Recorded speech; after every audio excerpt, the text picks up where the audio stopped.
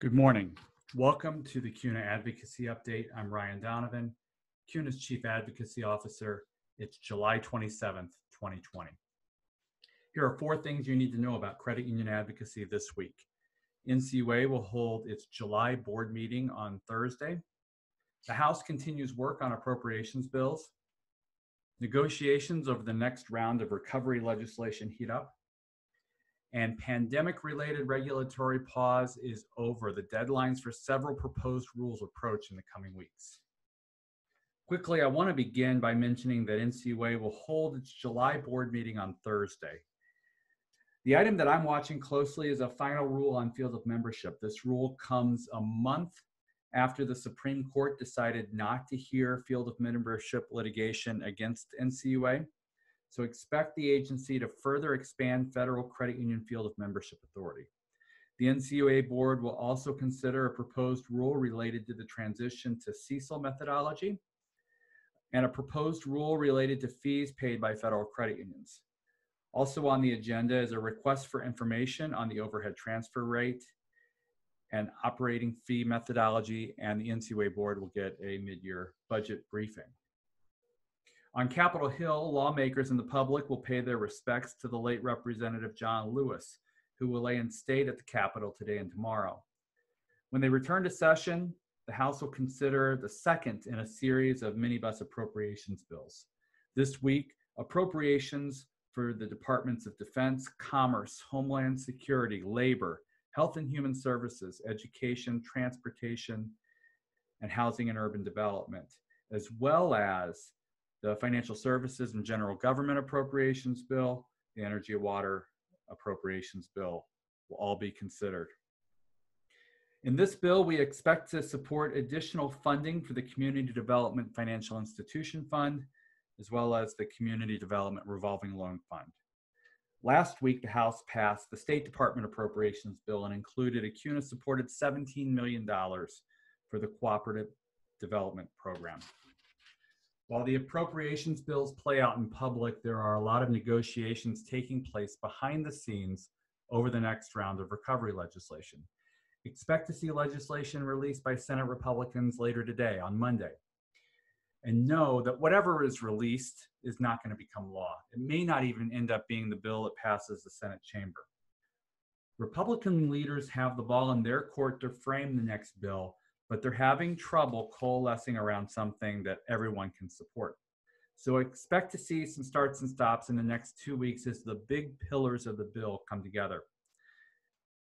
And then they get to negotiate with Democrats, who by all accounts remain united around additional funding for state and local governments, extended unemployment insurance, and opposition to liability protections.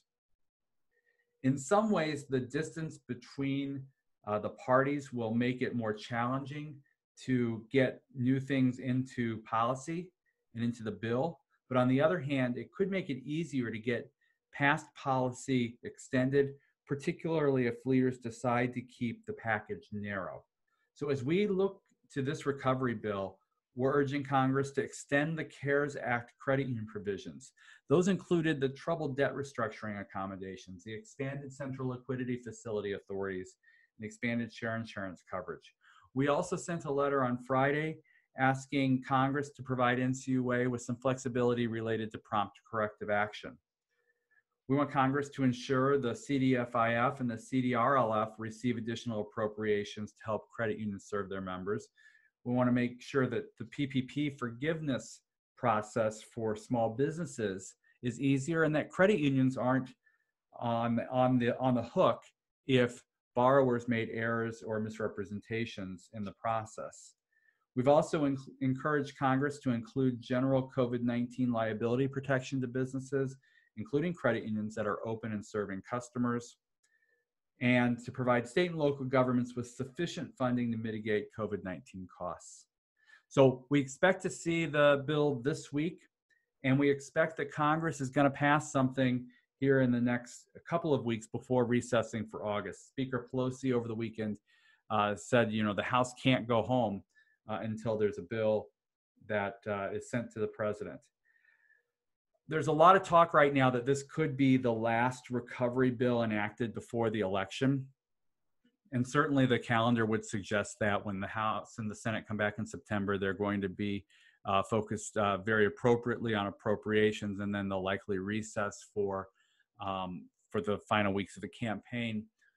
But I think that there's going to be opportunities in the future for additional recovery measures. Nevertheless, important for us to be engaged in this process in the event that it is the last train to leave the station before the end of the year. Finally, I want to provide a look ahead, as I did last week, on some of the regulatory deadlines that we're facing.